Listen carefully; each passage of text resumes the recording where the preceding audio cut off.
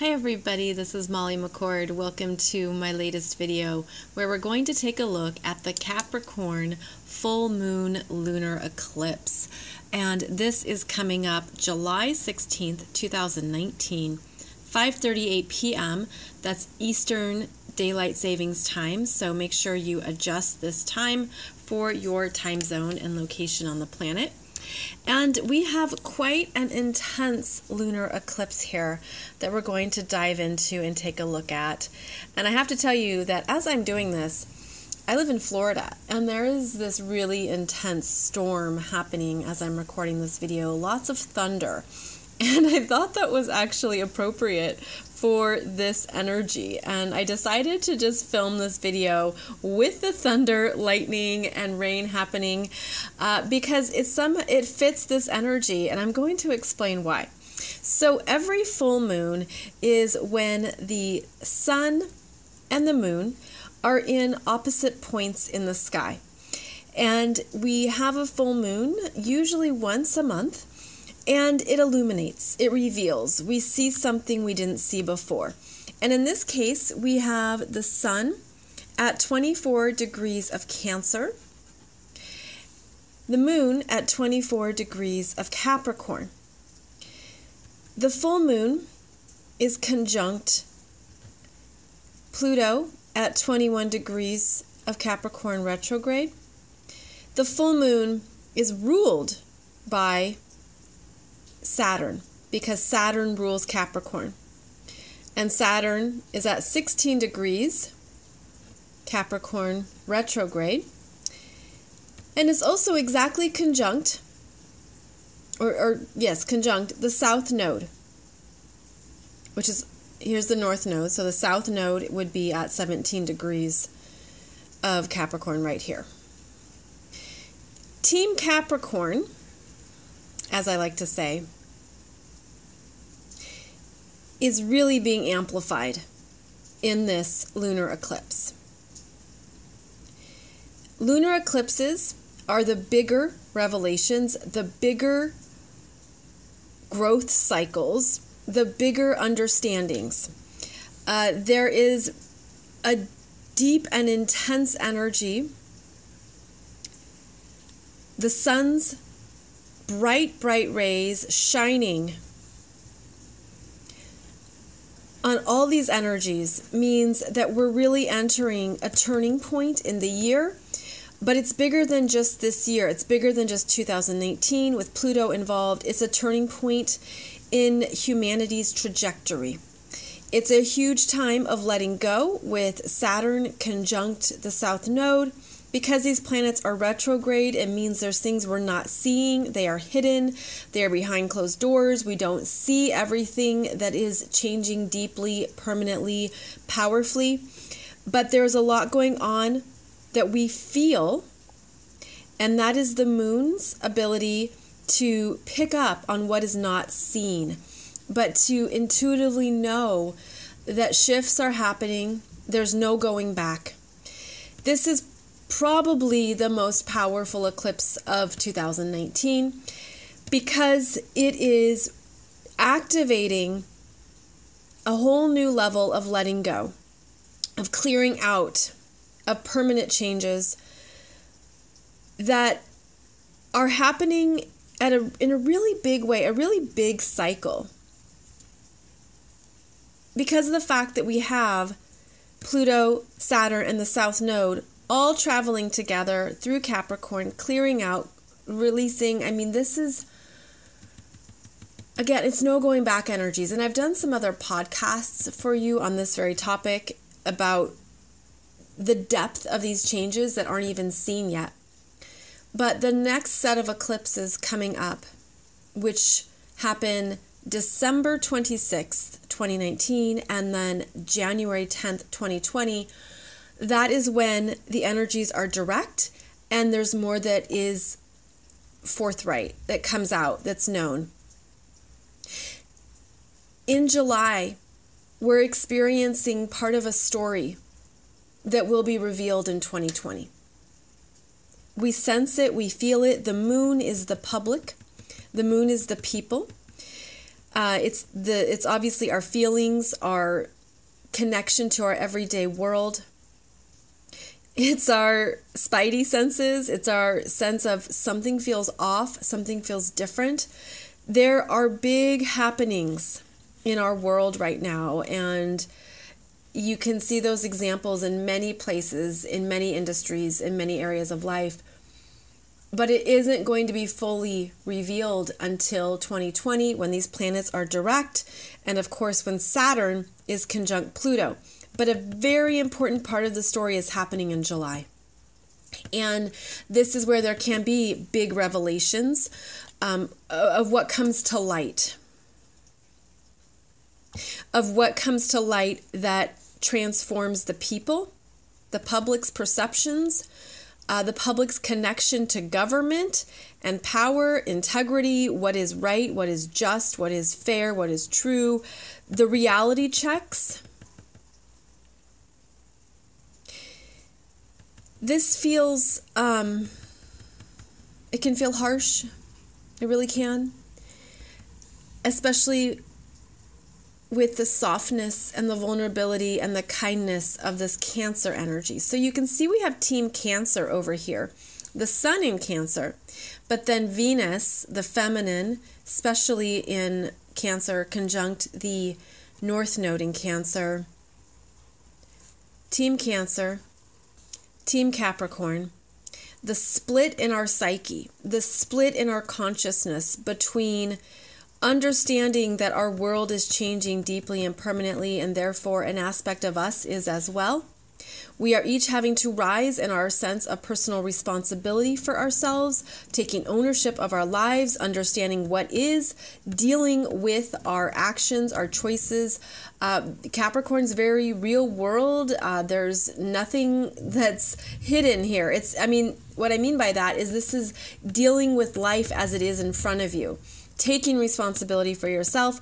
And then the team cancer, which is your feelings, your emotional body, your need to want to hide, take a break, retreat, go into this softer part of you that also needs comfort and care as all of these changes unfold and I feel like a lot of what we're moving through that isn't yet known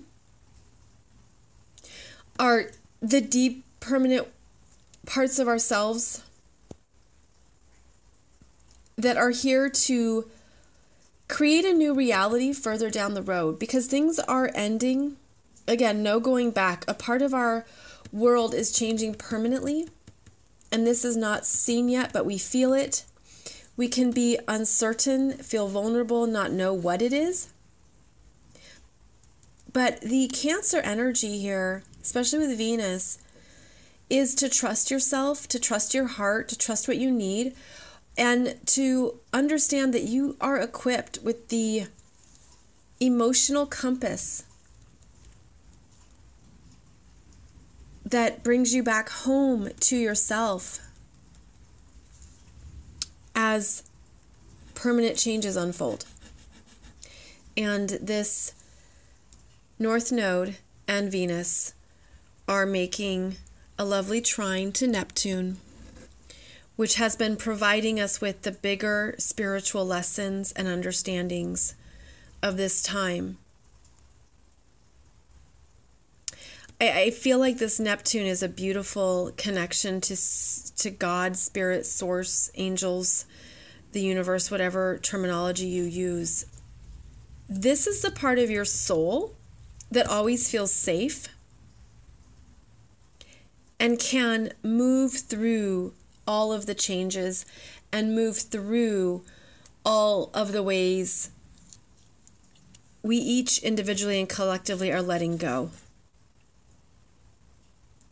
So, Capricorn is about profession, career, public status, how you're known, legal status. And this is also the axis of the family and the parents, Capricorn and Cancer. And so it can be triggering the where I've come from and where I thought I was going. But no, redirect. This is what I'm choosing now based on what I need, who I am, and what feels right. And it could be outside of societal expectations that I previously subscribed to and believed in and thought was right for me. Um, you know, it's a, it's a really common story. At least I've noticed with um, my own colleagues, fellow healers, is that you go into a corporate role or a job that you thought is going to be fulfilling, and then you do that game or you stay in that place for a number of years or however long, and then you return to who you really are and what's really in your heart, and you follow that. So there's this sense of um, returning to what you know feels right for who you are. So that's the bigger picture here. Um, I do want to give you a heads up about some notable energies around this full moon. And uh, specifically, three days before this full moon, the sun will be at 21 degrees of Cancer, directly opposing Pluto. So, this is a power struggle. This is something outside of you that has control over you, that is even the illusion or the perception of being more powerful. Uh, typically, you know, this energy happens once a year. And so, we're looking at where we're going and looking at how we are in alignment with ourselves and knowing that we can do this on our own terms, even if it means stepping away from what you thought was your power. This is um, a sense of okay, the sun is saying, This is your light. And Pluto is saying, but this is your power. And it can feel like they're on two separate sides of you, your light and your power. So there is a need here to reconcile or to find the way to honor these consciousness um, energies within you. I feel like this sun you know, as it moves forward here, it's understanding what it really loves, what's really in your heart. Um, as a planet moves through the third decan, it's meant to have mastery. So there's something here where your even your heart can feel challenged. Um, this is the part of you that wants to stay safe, and this is the part of you that's pulling you into more of your power that's also part of a Pluto opposition is that you could have the perception of your power outside of you, but it reminds you to do not give your power away. Do not give your power away. And then um, also, right before this full moon is exact, when the moon enters Capricorn on July 15th, the moon is going to travel here conjunct Saturn, which is a reality check, a limitation, a restriction, um, saying no, I, I, I don't have the energy, I can't do that today. You know, it'll be conjunct the South Node, and it'll it'll also be opposing Venus. So this can be an energy of retraction, emotional retraction. Then the moon goes across Pluto at 21 degrees and is faced with a fear. Pluto brings up our fears, emotional fear, transformation of it, um, awareness of it, awareness again of uh, perceptions of power. Then the moon comes up to this um, full moon, lunar eclipse. There's going to be some bumpy days, the middle of July, that are redirecting you it's it's a big letting go. I mean, it really is. And these lunar eclipse energies they last um, for a minimum of six months, but they have different energy cycles. And I feel like this one lasts into 2020 simply because we're going to be revisiting these same themes throughout 2020. So, whatever is coming up for you in July, give yourself time. Team Capricorn is about taking time to work through something to take responsibility to honor the cycles of time that are required in our daily lives.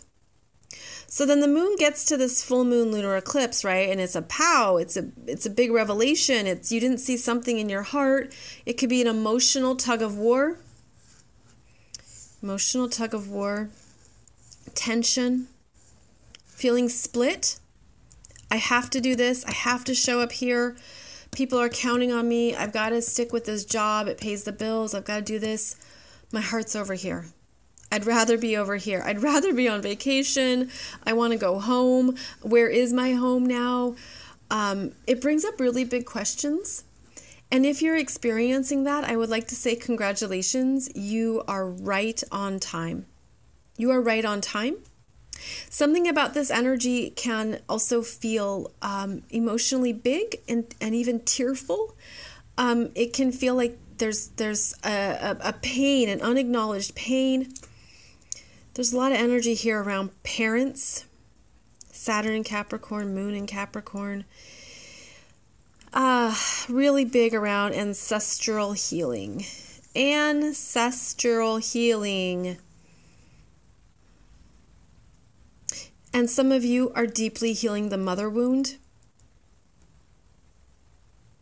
I'm just getting this image of um, the grandmothers, the aunts, the sisters, the females that weren't able to do something in this life.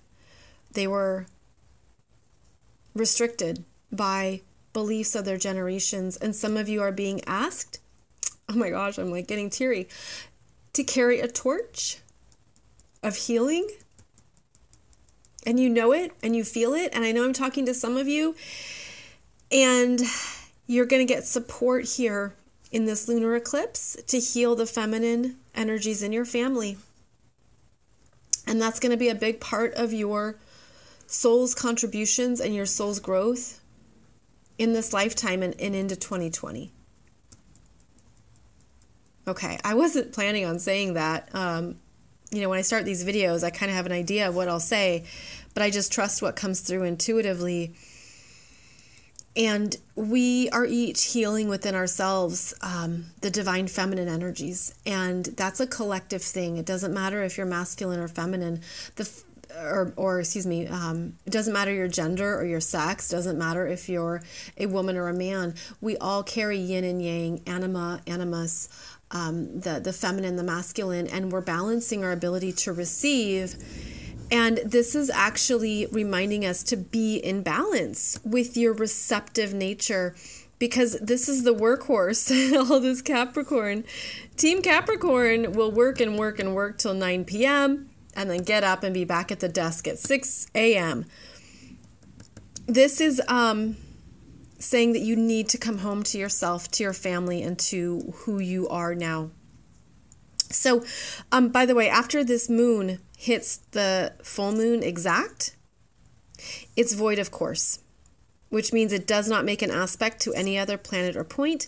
The void of course moon is a time of contemplation, of allowing, of being in this big it's like a big roller coaster, a big a bigger understanding of what's changing in your heart, what has shifted and what's changing in your life permanently. You're going to have revelations that come directly from your heart chakra. I feel it as a no compromise energy too. I'm feeling this as some of you are going to be like, I can't do this anymore. I can't do this part of my life the same way anymore. I have to take it make a change. I'm ready for a change. And the Capricorn energy is a cardinal sign. It's a new start. It's a new understanding of who you are now. And there's a sense of this responsibility. But remember, because we have responsibilities, this could be something planted in you. A seed is planted about what you're moving towards next that you you're meant to allow time to get there. I remember um, I back in it was 2013. I was writing my first book, um, The Art of Trapeze, and I was working as a contractor for a Fortune 500 company. I was paid really well. I had great hours. Blah blah blah. I was like, get me out of here because these people are psychos. Like, I didn't want to work with these people anymore. It was very karmic for me. It was very much about um, okay, I need to show up and finish what's going on. But what I did was I gave myself a timeline and said, okay, I'm going to save X amount of money so that by the time I'm ready to launch my book, I am done with this work environment that was really unhealthy for me and yeah, healing came from it, but I knew a part of me was done. Or as a friend of mine said, you're ripe. like you are ripe to go. So this is part of the overall trend right now is that you're seeing where you're done with something and now you're meant to make some concrete plans around where you're meant to go. Where you're meant to go next. Okay, other energies here. Um, this Mercury is retrograde and moving back to 24 degrees of Cancer. Hmm, that's interesting. 24 degrees of Cancer. So this Mercury moves back to 24 degrees of Cancer, the point, right, where we're um, experiencing this lunar eclipse, and will move back until the end of July, July 29th, which is also a new moon in Leo. So this Mercury is retrograde, and we are meant to take time the rest of July to really tap into more of our emotional messages, all these strong Cancer energies around trusting your feelings, trusting your heart, trusting yourself, what feels right, what feels true. Uh, it's a very private energy, and this Mercury retrograde is saying, go there, go back to your heart. Okay? Now, this Mars at nine degrees of Leo is strong. And he's marching forward, warrior style, to understand his strength now. And there is a part of you that's going to feel this. It's absolutely going to feel this, and it's going to feel good, by the way. It's going to actually help with some of this other big changes. Uh, Mars just made both a square and a trine uh, to Uranus at six degrees of Taurus, Chiron, five degrees Aries. So this Mars, um, he's had some energy here shifted for him. By the way, Uranus is going to be stationing retrograde soon, and Uranus is at six degrees of Taurus for about three months, okay, um, including July and August. Um, so if you have anything at six degrees of the fixed signs, Taurus, Leo, Scorpio, Aquarius, Uranus um, is really shaking things up. Um, and then Mars moving ahead is going to make a trine to Jupiter retrograde at 15 degrees of Sag. Uh, this Jupiter is going to be going back until mid August, retrograde until mid August. I believe it's until 13 degrees, 12 degrees, 13 degrees of Sag. So he's going to get something expanded in his confidence, uh, creativity, courage, belief in himself to keep going forward. This Jupiter is really supporting all of us right now in believing in ourselves, believing in what's possible, believing in the adventure at hand. And I feel like this, um, the, the fire energy in this chart is really helping us stay lit. to stay, uh, you know, fired up. And I just feel like it's invigorating. And it's like, I can do this. Okay. There's a sense of this is possible for me. So it's quite a month. Take good care of yourself, as always, uh, during the time of Cancer. And know that you're meant to make some changes right now. Wherever this 24 degrees of Capricorn is in your chart, it's bringing your attention right here. And both Pluto and Saturn will be at this 24 degree point next year in early 2020. So that's what I mean like this this energy carries into the next year. You're realizing some things you're ready to change and the universe is saying it's time because you're ready and because the world needs you in a different capacity now. And the world needs you to find and connect to those messages in your heart that only you carry. We each have these unique understandings of ourselves, of what we're healing. And I feel like Team Capricorn is helping us to see who we've been, where we've come from um, in terms of work, career, who we are in the world. But Team Cancer is reminding you who you are in your heart. And then this awesome Neptune trine and sextile is reminding you uh, that you're above this time and space and you're above this reality and this place um, in the timeline of humanity. It's like that whole bigger picture that we carry with us. So, it's quite a big lunar eclipse. Rocking and rolling, Mercury retrograde, take it slow, be easy on yourself, be kind, be gentle, and the energy really shifts again uh, the end of July, beginning of August, as Mercury stations direct, and we have a new moon in Leo um, that kickstarts a new sense of confidence and courage. So, as always, everything is in perfect and divine order. You are tapping into more of your own power and your own choices the choices you are here to claim that are true for you. Thank you so much for watching this video. Feel free to watch it again because I know there was a lot in this. And I'll be back soon with a whole new look at the Leo new moon.